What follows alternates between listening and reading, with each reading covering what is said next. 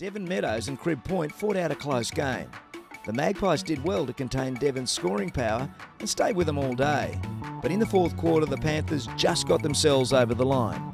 Hills was named as the best for Devon, and Harrington is still impressing for Cribby.